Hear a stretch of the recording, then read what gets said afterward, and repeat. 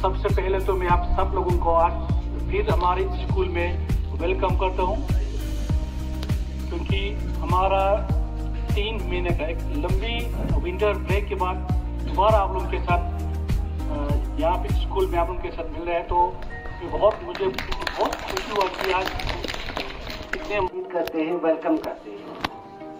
तो उम्मीद है, सबसे पहले तो हम अल्लाह ताला का लाख लाख शुक्र करते हैं कि एक लंबे विंटर वेकेशन के बाद फिर से हम सब यहाँ पे असम्बल होने का मौका मिला। उसके लिए हम अल्लाह ताला का लाख लाख शुक्र अदा करते हैं। और उम्मीद है कि आप सब इसी विंटर वेकेशन में सब सेहत सलामत रहे होंगे और विंटर वेकेशन का आप लोगों ने मज़े लिए होंगे।